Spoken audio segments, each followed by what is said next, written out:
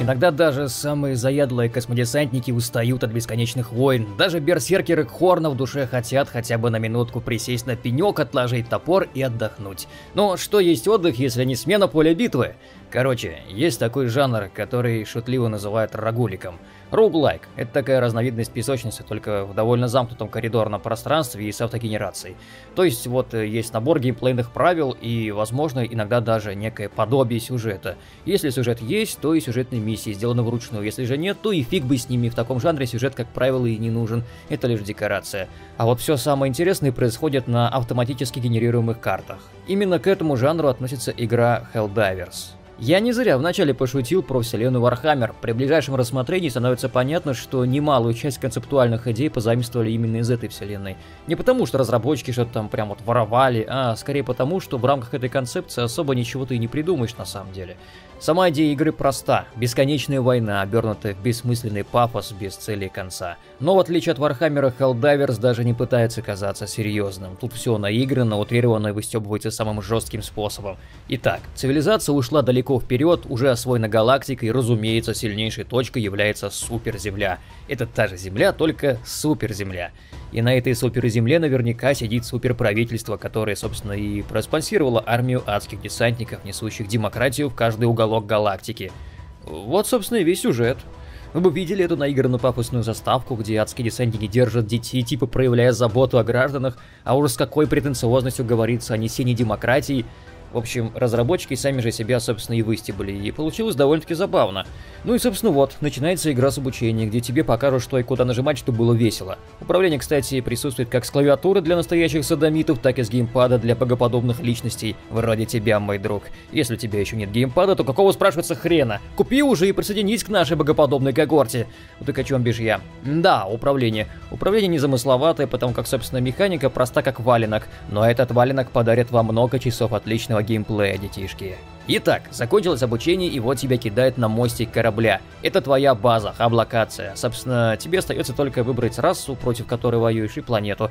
Раз всего три, то бишь три вида противников. Жуки, аналог тиранидов, сплошная органика и много диетического легко усвояемого говна, особенно когда они прут на тебя толпой. Вторые — киборги. Мы их шутку называем немцами или дойчами, потому что они говорят на ломаном немецком. Идем мы, значит, с другом по полю с пулеметом навстречу патруль киборгов. Они орут «Гейгенман», что с немецкого означает «человек идет». Мой друг слышит это как «Гегенман», что означает «напротив мужчины», и это напоминает ему песню группы Рамштайн «Ман Гегенман», которая про геев. И вот с криком «Сам ты пидор» мой друг уничтожает патруль. Вот такая вот незамысловатая комбинация в голове у адского десантника. Что поделать. Третья раса — это просвещенные, высокотехнологичные мрази. Если жуков можно было сравнить с тиранидами, а киборгов с хаоситами, причем с ланишитами харнитами, то просвещенные это такие эльдары. Все белесые, все технологии такие возвышенные, что не солдат, то прям как из Сколково. Собственно, вот эти вот три народца живут в разных частях галактики и одинаково бесят суперземлю. Вот потому для их завоевания регулярно отправляются флоты адских десантников. Далее нам надо выбрать планету. Разумеется, название локации генерируется автоматически каждый раз по-разному. От выбора планеты зависит не только условия проведения боя, то бишь в снегах мы будем ползать или бегать вокруг вулканов, это ерунда. Главное это, собственно, награда за прохождение планеты. О них чуть позже. На каждой планете есть от двух до трех миссий, каждая из которых включает в себя набор заданий. Собственно, выбираем миссию и десантируемся. И наконец, когда с теорией покончено, переходим уже к практике. Адский десантник на поле боя – это машина для убийства, предвозмогающая любые сложности, а сложностей тут будет в достатке. Поначалу, конечно, на легких уровнях будет довольно просто, главное постичь азы, все это выглядит так. На каждой миссии есть несколько заданий, которые игрок должен выполнить, управляя своим пехотинцем в изометрическом виде. Притом по карте разбросаны патрули противников, которые при должной сноровке можно обходить. При той самой сноровке можно вообще умудриться не ввязываться в бой за все задание, и на высоких уровнях сложности это считается лютым мастерством. Пока же особой разницы нет. Если вовремя не уничтожить заметивший тебя патруль, то поднимается тревога и из всех щелей начинают лезть враги. До тех пор, пока они все не будут уничтожены, тревога не будет погашена, и они так и продолжат лезть. И если на легком уровне сложности это не беда, то вот на сложности типа глубины ада это уже, извините, глубины ада. Потому что пока ты сражаешься с одной армадой, которая что не уровень сложности, то все жирнее и жирнее, разведчики при этом продолжают рыскать. В полубое не обратить внимание на очередной патруль, это обычное дело, а где два, там и четыре. И вот уже вместо одной армады ты сражаешься четырьмя, и конца этому не видно. Солдаты неумолимо прут на тебя, а ты бегаешь как сучка, бегаешь вокруг них и пытаешься отстреливаться. Ой, что это? Патроны кончились? А ты как думал, сказку что ли попал? Мало того, что оружие здесь надо перезаряжать, так оно еще и запас патронов имеет, и он ограничен. Нехер разбазаривать казенное имущество суперземли впустую. При этом не забывай, ты сюда не убивать врагов пришел, выполнять задания. Задания, кстати, самые разные. Есть, по сути, простые, например, захват флага, просто стоя рядом с точкой, отбиваясь от врагов, если они есть. Его провалить нельзя, но большинство заданий провалить все же можно. Это и защита объекта с постоянной его активацией, и сопровождение груза или выживших до базы, и перенос чемоданчика, который слишком громоздкий, чтобы нести его одновременно с винтовкой, приходится из пуклки отстреливаться, и еще до хрена подобного.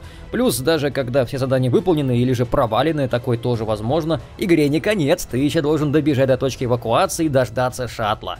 Самое смешное, когда идеальная миссия проваливается из-за того, что эвакуационный шаттл садится нам на голову. У нас такое было, и ох, мы тогда орали. Ну и вот, и когда ты уже готов отбросить коньки, ты вдруг видишь спасательную надпись «Вася Пупкинс присоединяется к игре», а механический голос вещает «Адский десантник на поле». И таки да, drop pod падает прямо на голову самому жирному монстру, расплющивая его к хренам, и из него выползает гордо тот самый Вася Пупкинс, и вы вместе начинаете мочить сраных ксеносов во имя суперземли и демократии. Да, это кооперативная игра. Проходить миссии в одиночку скучно, а на высоких сложностях это еще и нереально. Helldivers — игра для команды каждая, желательно для сыгранной. И вот, когда вы уже близки к победе, к вам присоединяется еще один десантник. Но недолго музыка играла, недолго фраер танцевал. Дроп-под падает прямо вам на голову, заканчивая преждевременно миссию. Занавес. Вообще, то ли по несчастливой случайности, то ли шутки ради, дроп-поды союзников при присоединении так и норовят упасть именно тебе на голову, потому что Friendly Fire — выбор настоящих мужиков, а если ты не мужик, а девушка, то ты тоже почувствуешь вкус Friendly Fire. В общем-то, да, примерно эта игра и представляет. Ты один, а лучше вчетвером, против орд превосходящих сил противника в попытке выполнить задание. Разумеется, должно быть что-то, что поможет превозмочь этих уродов, и оно, безусловно, есть. Это два аспекта – оружие и стратегемы. Оружие, оно, собственно, оружие и есть. Начинаем мы с простенькой винтовкой и парой гранат, но с повышением уровня будут открываться новые стволы, и стрелять они будут совсем не обязательно пулями. Лазер и плазма тоже присутствуют. Патроны имеют свойство кончаться, причем кончаться правильно. Обычно в играх, если оружие перезаряжается, то количество патронов в вражке дополняется из твоего патронохранилища. Но, сами понимаете, это игровая условность. Никто не будет докладывать патроны вражок в полубое, ты просто выкидываешь один и вставляешь другой. если в том еще остались патроны, то с глаз долой, сердце вон. Также и в этой игре, поэтому постоянно перезаряжаться – верный путь к поражению. Обычно десантник таскает на себе 4 рожка с патронами, так что боеприпасы надо беречь. Есть оружие с бесконечным боезапасом, но не спешите хлопать в ладоши от радости. Если вовремя не прекратить жать на гашетку, то оружие перегреется, прямо как протанский излучатель из Mass Effect. И понадобится охладитель, который по сути также является боеприпасом. Да, у адских десантников даже бесконечность не бесконечна, такие вот они суровые. Те самые патроны изредка будут валяться на опорных точках на карте, но чаще всего пополнять их придется стратегемами. Стратегема — это стратегический объект, который ты запрашиваешь через рацию с орбиты, набирая стрелками нужную комбинацию. В начале каждой миссии ты выбираешь 4 стратегемы из набора имеющихся, и во время боевого задания можешь их вызвать. Количество вызовов зависит от самого стратегема, но оно всегда ограничено, кроме тех, что по умолчанию даются на задание. Например, всегда дается стратегема воскрешения. Если напарник помер, просто вызываешь новую капсулу с ним, главное не себе на голову. Любая капсула, будь в ней хоть мешок с рисом, гарантированно убивает того, на кого упала, и очень хорошо, если ты впрямь окажется противник. Но нередко собутыльники-десантники в полубоя сами же под свой дроп-под и попадают. Вот к стратегемам патроны относятся. Закончились запроси с орбиты. Но не патронами едино, на самом деле стратегемов гора. Это и авиаудары разного типа, бомбы, мины, напал. Это и оружие, например, тяжелый пулемет или лазерная пушка, которую можно дополнительно использовать помимо основного оружия. Это и джетпаки, и противопехотные ежи, ну и конечно же разного типа турели, дредноуты и танки. Последнее особенно добавляет происходящему веселье. На дредноуте, танке или еще каком-нибудь там мотоцикле преодолевать периметр намного удобнее и быстрее. А если дурында оснащена крупнокалиберной пушкой, то и вовсе счастье полные штаны. Но не спеши радоваться, дорогой десантник. Если тебе досталась железная карета с пушками, это еще ничего не значит. При первой же возможности она вполне может застрять в огромной толпе крупнокалиберных врагов и там быть сожрана. И хорошо, если ты успеешь покинуть догорающую посудину. Ну а при более мастерском управлении и хорошем сечении обстоятельств машина, разумеется, будет верно и надежно поддерживать союзников огнем, до тех пор, пока патроны не закончатся. После этого она становится совершенно бесполезна, заправить ее снарядами невозможно, да и починить крайне проблематично, так что даже в самом крутом танке ваша команда не может чувствовать себя совсем уж вальяжно и транжирить патроны, стреляя из окна в пустоту с криком «Дагестан!». Дополняет картину тот самый Friendly Fire. Это относится как к союзникам, так и к стратегемам. То есть турель не разбирает, стоишь ты обалду несчастный на линии огня или нет. Попасть под дружеский огонь или даже под перекрестный, это как пить дать. В теории тут можно пригнуться и спастись, но успеваешь далеко не всегда. В этом случае десантник получает ранение и быстро нажимая кнопку может через какое-то время встать, отползая на безопасное расстояние, а может быть поднят напарником. Напарники тоже, кстати, те еще перцы. Не потому что не гады и мрази, а потому что в полубой случайно стрельнуть в глаз, а попасть в задницу святое дело, причем в задницу счастливому союзнику, конечно же. Так что от своих пуль будете гибнуть не намного реже, чем от вражьих. И все это под крики ваших карикатурных персонажей о свободе и демократии, причем не Неважно, киборгам они это кричат или безмозглым жукам, и тем и тем пофиг, а нам пофиг, что им пофиг. Потому что на экране творится самая настоящая мясорубка, не отпускающая тебя ни на секунду. И все это под шикарный задорный саундтрек, выполненный в модном сегодня и удобном в принципе слоеном стиле. На обычных уровнях сложности вы будете слышать одну музыку, ну а чем сложнее, тем больше она начнет меняться в более эпическую сторону, вплоть до того, что ты заслушаешься и сдохнешь в очередной раз. К слову, если заморочиться исследованием карты, то можно найти образцы. 10 образцов, собранных на миссии, дают одно научное очко. Очко, детишки, это важно. Всегда дорожите своим очком. В данном случае оно позволяет, будучи на мостике, прокачать оружие или стратегемы. У стратегем всегда три уровня, а оружия также несколько дополнительных опций. Это уже от пушки самой зависит. Ну так вот, получается, что при выборе планеты мы выбираем именно стратегемы, которые нам дадут в награду. Чем сложнее уровень, тем, конечно же, круче стратегема. Так, по окончанию всех миссий планеты мы получаем опыт и сообщение, что Суперземля довольна нашими успехами. Количество опыта зависит от живучести и выполнения заданий. Если задание провалено, то опыта дадут, конечно же, меньше, а где-то на суперземле Супер Путин снова повысит суперналоги для наших суперграждан, да. Если планета уже завоевана, то вместо стратегем дадут дополнительный опыт и все. Если завоеваны все планеты, то нужно лететь в другую систему, там тоже что-нибудь вкусное есть. Если завоеваны вообще все планеты, не беда, есть еще возможность атаковать родной мир расы.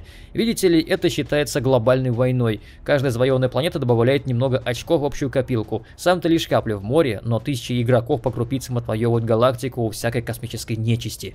Поэтому может случиться так, что все задания будут выполнены и стратегемы будет не не получить, пока цикл не перезапустится, то есть пока наступление на родной мир не провалится или же наоборот не обернется успехом. Если все три мира будут завоеваны, то собственно игрокам объявят какие-нибудь все молодцы-холодцы, покажут титры и все начнется сначала.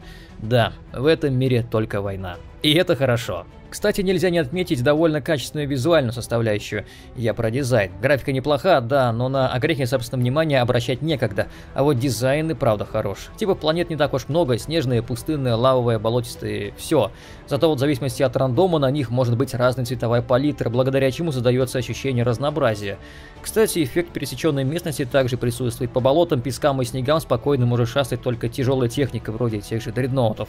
А еще в этой игре присутствует мой любимый тип миссии – Last Stand. Это когда тебя запирают на клочке карты, и ты должен отбиться от наседающих хорд врага. Здесь они прут бесконечно, тебе нужно набить определенное их количество, вызвать шаттл, дождаться эвакуации и свалить. И далеко не всегда это просто, далеко не всегда. Зато всегда очень весело. Ну и также для особых извращенцев есть архисложные миссии по сражению с боссами фракций. Ну, сами понимаете, одолеть их нелегко. Кстати, обидно, что из ценных наград за победу над ними дадут лишь опыт. Вот такая вот игрушка. Напоследок скажу, что разработала игру компания Arrowhead Game Studios. Это те люди, которые подарили нам магику. Изначально игра шла как эксклюзив для PlayStation, отсюда и цена до сих пор такая. К тому же к ней есть аж 17 DLC и все такое вкусное аж зудит. Они добавляют новое оружие и стратегемы, некоторые из которых действительно полезны, например, Dreadnought Лесоруб. Хотя стоит этот набор довольно дорого, брать советую по скидке в праздники. Но все же не могу не отметить один приятный факт. Игра выпущена в 2015 году, а игроков до сих пор полно. Найти напарника в сети – плевое дело. Найти адекватного напарника в сети, но это уж вы замахнулись. Люблю долгоживущие проекты, особенно такие качественные. В Helldivers нет каких-то особенностей, благодаря которым ее можно было бы назвать игрой-реликтом, однако она без приукрас шикарна. Надолго ее не хватит, но в качестве варианта зайти пострелять выйти подойдет идеально.